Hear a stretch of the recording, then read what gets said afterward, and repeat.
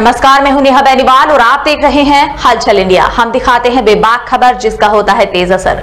जानेंगे आज की खबरें, लेकिन सबसे पहले नज़रें आज के हेडलाइंस पर। और अब खबरें विस्तार से। मुजफ्फरनगर के गुरुद्वारे में गुरु नानक देव जी महाराज के प्रकाश पर्व के अवसर पर पाठ्य लंगर का आयोजन किया गया।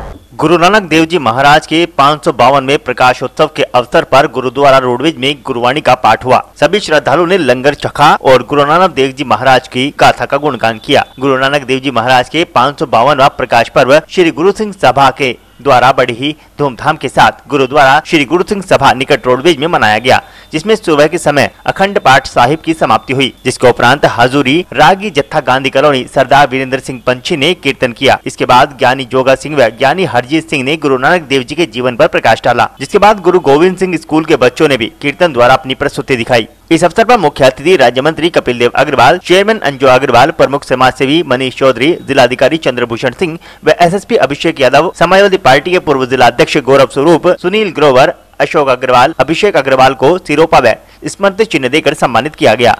वहीं प्रकाश पर्व के अवसर पर समर्पित युवा के द्वारा विशाल रक्तदान शिविर का भी आयोजन किया गया, जिसमें अनेकों श्रद्धालुओं ने अपना रक्तदान कर गुरु घर की खुशियाँ प्राप्त की। संतन साहेब श्री गुरु नानक देव जी महाराज, सिखों के पहले गुरु उनका आज प्रकाश पर्व मनाया गया है और संगतों का बहुत बहुत धन्यवाद करते हैं इतनी संगत आई है अब इस बार के बड़ा ही आनंद आ गया सारी संगतों का बहुत बहुत धन्यवाद करते हैं ਪਹਿਲੇ ਗੁਰੂ ਨਾਨਕ ਦੇਵ ਜੀ ਸਾਡੇ ਪੂਰੇ ਜਗਤ ਦਾ ਭਰਮਣ ਕਰਕੇ ਉਹਨਾਂ ਨੇ ਸਚਾਈ ਦੇ ਰਾਹ ਤੇ ਮਾਨਵਤਾ ਦੇ ਰਾਹ ਤੇ ਹਰ ਕਿਸੇ ਨੂੰ ਚੱਲਣ ਦਾ ਰਸਤਾ ਦੱਸਿਆ ਹੈ ਬਾਣੀ ਨਾਲ ਜੋੜਿਆ ਹੈ ਉਹਨਾਂ ਦਾ ਗ- ਪ੍ਰਕਾਸ਼ ਪੁਰਬ ਮਨਾ ਰਹੇ ਹਾਂ प्रधान जी आज एक अहम फैसला है जिसमें तीन कृषि कानून पास हुए हैं। और तीन कृषि कानून में सिख समाज ने एक अपनी अहम भूमिका निभाई थी। क्या कहना चाहेंगे देखो सिख समाज की अहम भूमिका तो है मगर साथ में सारे ही लोग साथ थे।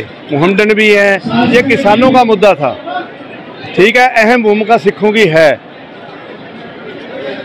तो जो आज प्रधानमंत्री द्वारा फैसला है क्या आप इससे सहमत हैं?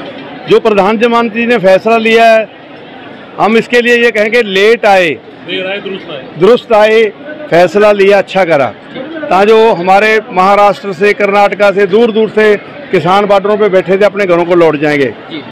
ब्रेक के बाद एक बार फिर से स्वागत है आपका। मुजफ्फरनगर की मीरापुर पुलिस और बदमाशों के बीच मुठभेड़ हो गई जिसमें एक बदमाश पुलिस की गोली लगने से घायल हो गया। मुजफ्फरनगर के मीरापुर में घटना को अंजाम देने जा रहे एक बदमाश को मुठभेड़ के बाद गिरफ़्तार कर लिया गया। वहीं बदमाश का एक साथी अंधेरे का फ़ायदा उठाकर भागने में कामयाब हो गया। मुठभेड़ में बदमाश पुलिस की गोली लगने ऐसी घायल हुआ है। इंस्पेक्टर मीरापुर, ज्ञानेश्वर बोध ने बताया की देर रात एसआई विजयपाल सिंह और एसआई जितेंद्र सिंह कांस्टेबल संदीप डागुर व अन्य चेकिंग कर रहे थे। तभी उन्हें गंगनहर पटरी ऐसी दो युवक आते हुए दिखाई दिए। तो पुलिस ने उन्हें रुकने का इशारा किया। तो बदमाशों ने पुलिस पर फायरिंग करनी शुरू कर दी। पुलिस ने जवाबी फायरिंग की तो एक बदमाश घायल होकर मौके पर ही गिर गया। वहीं दूसरा बदमाश अंधेरे का फ़ायदा उठाकर भागने में कामयाब रहा। पुलिस ने घायल बदमाश को गिरफ़्तार कर लिया। पूछताछ में बदमाश ने अपना नाम सोनू उर्फ़ अफजाल, पुत्र ज़फ़र उर्फ़ जफरू निवासी गाँव सिखेड़ा थाना सिंभावली जनपद हापुड़ बताया। पुलिस ने घायल बदमाश को डॉक्टरी परीक्षण के लिए अस्पताल भिजवा दिया। इंस्पेक्टर मीरापुर ज्ञानेश्वर बोध ने बताया कि चेकिंग के दौरान बाइक सवार दो बदमाशों से पुलिस की मुठभेड़ हुई है। मुठभेड़ में एक बदमाश फरार हो गया, जिसके कब्जे ऐसी पुलिस ने एक एक्टिवा,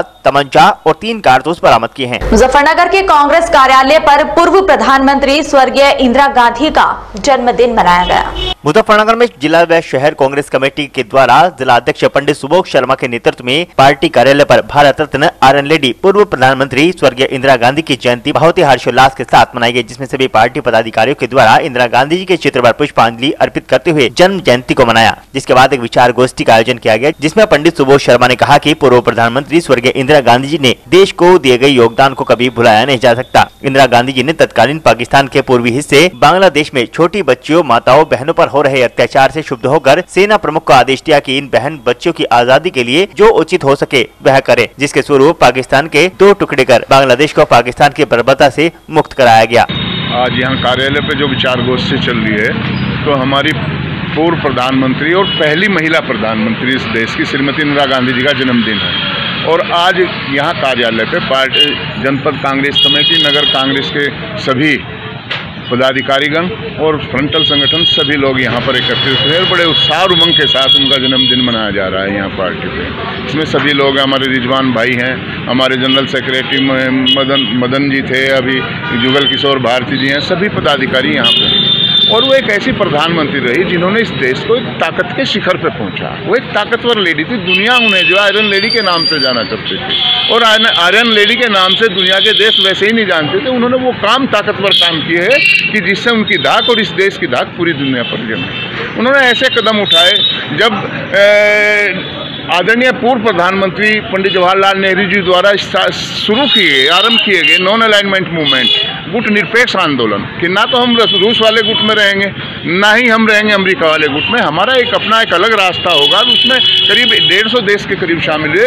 तो इंदिरा गांधी ने उसे बड़े सशक्त तरीके से आगे बढ़ाया, और दुनिया के देशों ने लोहा माना, और जो गुट निरपेक्ष आंदोलन था, उसकी वो अध्यक्ष भी बनी जो है। उसके बाद फिर उन्होंने काम तो उनके इतने जितने गिने जाए, उनकी गिनती नहीं हो सकती। चाहे उन्होंने हरित क्रांति लाई, श्वेत क्रांति लाई, चाहे उन्होंने राजा महाराजाओं को जो करोड़ों रुपया मिलता था प्रीवी पर्स का वो उन्होंने ख़त्म किया, उसके बाद बैंकों का नेशनलाइजेशन किया। इतने काम है उनके के गिनते रहो तो सुबह से शाम हो जाएगी। लेकिन एक ऐसा काम किया, उन्होंने कि लोग तो जो है, इतिहास बदलने को कहते हैं कि हम इतिहास बदल बदल देंगे, लेकिन उन्होंने हमारे शत्रु देश का भूगोल ही बदल दिया। एक एक पाकिस्तान के दो टुकड़े करके और दुनिया में अपनी धाक जमाई और तिरानवे हज़ार उनके सैनिकों को उन्हें बंधक बना के हम लोग अपने देश में लाए जो और आज के इस बुलेटिन में फ़िलहाल इतना ही। कल फिर हाजिर होंगे कुछ और नई खबरों के साथ। तब तक के लिए नमस्कार।